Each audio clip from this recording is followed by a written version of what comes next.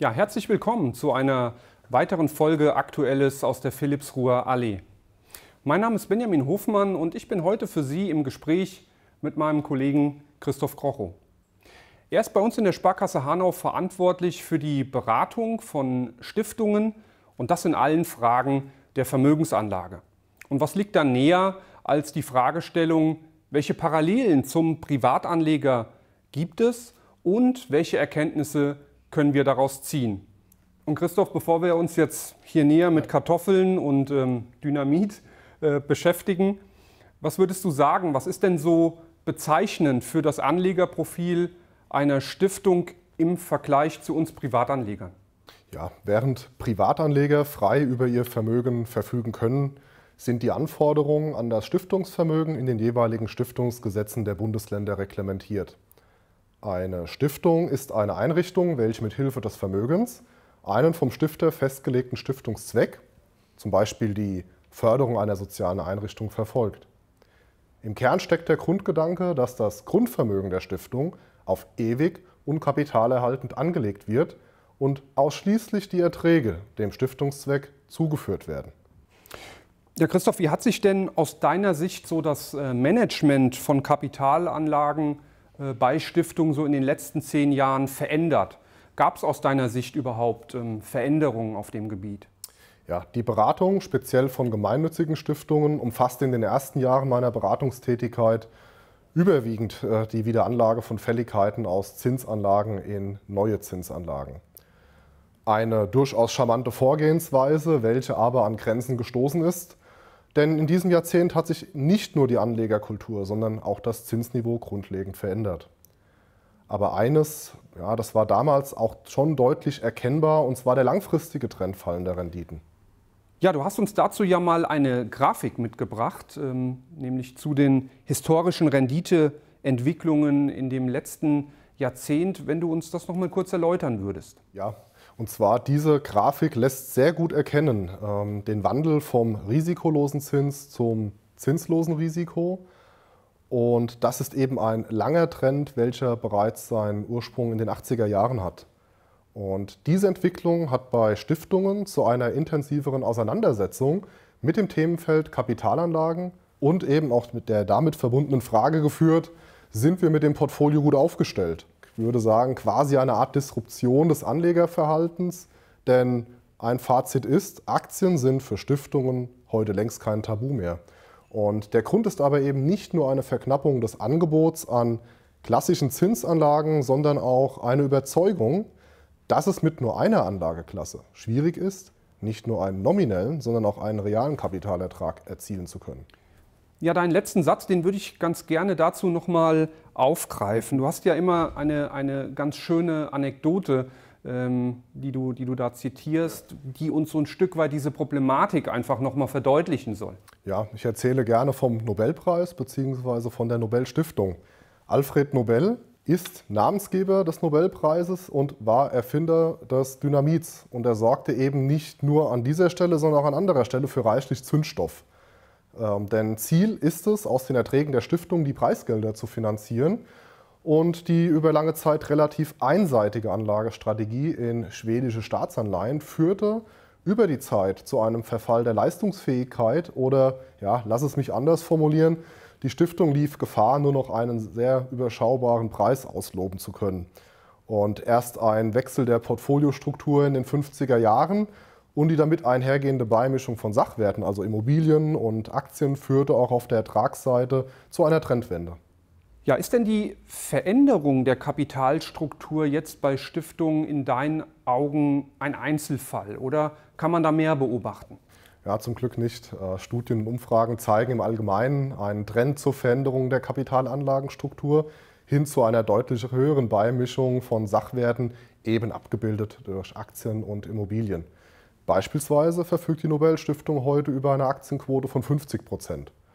Und so zeigen Analysen von Stiftungsvermögen, dass es aber nicht nur die größten Stiftungen sind, welche einen Renditevorteil erzielen, sondern auch jene mit guten Kenntnissen in der Vermögensanlage und der Bereitschaft für Veränderungen. Und diesen Veränderungsprozess beobachten wir ebenso in der heutigen Anlageberatung unserer Privatkunden. Ja, diesen Veränderungsprozess, daran würde ich ganz gerne nochmal anknüpfen. Wie steht es jetzt hier um das Thema des Kapitalerhalts? Weil das steht ja jetzt schon dann auch ein Stück weit, könnte ich mir vorstellen, im Fokus bei dem einen oder anderen. Ja, Kapitalerhalt bedeutet nicht ausschließlich immer von vornherein eine 100-prozentige Kapitalgarantie. Wir verstehen darunter, dass eben nur jene Vermögensbestandteile in schwankungsstärkere Anlagen, wie beispielsweise Aktien, investiert werden dürfen, welche zum Beispiel auf mittel- bis langfristige Sicht gehalten werden können. Daher ist es sehr wichtig, sein ganz persönliches Anlegerprofil zu definieren. Man muss dazu sagen, Stiftungen sind auf Ewigkeit ausgerichtet. Die Frage nach dem geeigneten Anlagehorizont spielt bei Privatanlegern eine bedeutsamere Rolle. Und hier gilt, je länger mein Anlagehorizont und je höher meine Risikobereitschaft und Risikotragfähigkeit sind, desto höher kann die Gewichtung von Sachwerten erfolgen. Und weiterhin empfehlen wir wie immer grundsätzlich eine breite Streuung des Vermögens. Und wenn ich für die genannten Dinge ein Verständnis entwickle, bin ich auch als Anleger in diesen Anlageklassen sehr gut aufgehoben. Ja, also aus deiner Sicht ein ähm, klares Ja für Sachwerte? Ein ganz klares Ja für Sachwerte. Ich würde jetzt ganz gern mit dir nochmal auf ein anderes Thema ähm, ähm, einsteigen, und zwar das Thema Inflation. Ähm, das wird ja auch viel diskutiert aktuell. Wie würdest du denn das Thema Kaufkraftverlust aus aktueller Sicht, aber auch ähm, langfristig ähm, bewerten?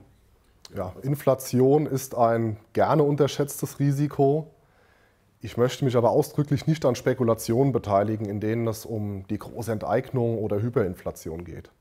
Ich möchte das gerne viel lieber unseren Zuschauerinnen und Zuschauern anhand von drei Punkten versachlichen und greifbar machen. Erstens, die Inflationsrate betrug in 2019 rund 1,4 Prozent und befand sich aufgrund der gefallenen Energiepreise zuletzt auf einem niedrigen Niveau. Corona-bedingt erwarten wir für 2020 eine Inflationsrate von 1%. Das ist aber nur die aktuelle Sicht. Gerne würde ich für lieber mal auf den mittel- bis langfristigen äh, Blick gehen, denn langfristig strebt die Europäische Zentralbank eine nachhaltige Preisniveaustabilität von 2% an.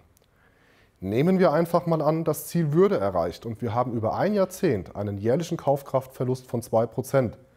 Ich denke, es ist selbsterklärend, welche Kaufkraft ich mit 100 Euro heute morgen oder auch in zehn Jahren besitze. Und drittens, das ist mein Kartoffelbeispiel. Seit 2002 ist der Preis von einem Kilogramm Kartoffeln um ca. 300 Prozent gestiegen.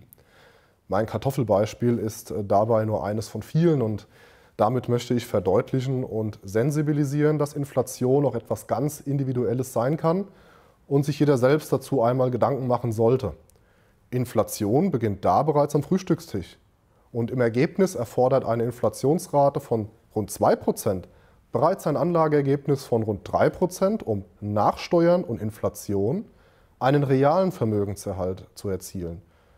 Und ist beispielsweise eine Stiftung auf lange Sicht nicht in der Lage, einen Inflationsausgleich zu erzielen, gefährdet das langfristig den Stiftungszweck und damit auch ihren wertvollen gesellschaftlichen Beitrag. Und gleiches gilt im übertragenen Sinne für die Kaufkraft im Privatvermögen. Ja, abschließend würde uns natürlich jetzt noch ähm, interessieren, wie du bei der Beratung oder in der Beratung ähm, deiner Stiftung auf diese Herausforderungen organisatorisch reagiert hast. Ja, weil wir haben im Hinterkopf, es spielen ja auch oftmals ähm, gesetzliche Vorgaben hier eine Rolle. Wie hast du dich da aufgestellt? Ja, die vergangenen zehn Jahre waren sehr geprägt von einem intensiven Austausch mit den Stiftungsgremien. Meine Hauptaufgabe besteht darin, eben die Entscheider thematisch abzuholen und gemeinsam mit ihnen werthaltige und eben auch transparente Entscheidungsprozesse zu installieren. Wir unterstützen Stiftungsvorstände bei der Entwicklung bis zur Umsetzung geeigneter Anlagestrategien und das in einem kontinuierlichen Betreuungsprozess. Und einen solchen bewährten Investmentprozess haben wir auch in der Privatkundenberatung der Sparkasse Hanau erfolgreich installiert. Auch hier liegt meines Erachtens die große Gemeinsamkeit von Stiftungen im Sinne institutioneller Kunden und Privatanlegern. Und wir sind dabei der Auffassung, dass wir den gegenwärtigen, aber auch künftigen Herausforderungen nur auf diesem Wege angemessen begegnen können. Und ein regelmäßiger Austausch, wie wir ihn in unseren Strategie- und Depotgesprächen leben, ist die Mindestvoraussetzung für erfolgreiches Investieren. Letztlich geht es ja auch darum, die Komplexität an den Kapitalmärkten zu entflechten, Lösungen aufzuzeigen und nicht das Spiel mit der Angst zu betreiben. Ja, da haben wir doch äh, schon ein schönes äh, Schlusswort von dir, wie ich persönlich finde. Zusammenfassend, welche Botschaft würdest du denn jetzt unseren Anlegerinnen und Anlegern gerne so mit auf den Weg geben? Ja, meine Tipps für Sie. Das eigene Anlageverhalten immer wieder kritisch hinterfragen und das persönliche Anlegerprofil ermitteln. Die Inflation bitte nicht unterschätzen. Es ist eine Gefahr für Ihr Vermögen. Die Sachwertequote angemessen und schrittweise erhöhen. Und das gemeinsame Strategiegespräch mit uns, wie wir es in der vergangenen Folge vorgestellt haben, bietet dafür den geeigneten Rahmen. Ja, dem möchte ich mich äh, gerne anschließen. Vielen Dank, äh, Christoph, dass du uns heute zur Verfügung gestanden hast. Ja, und wir freuen uns auf den gemeinsamen Austausch weiterhin mit Ihnen und wünschen Ihnen auch eine weiterhin gesunde Zeit.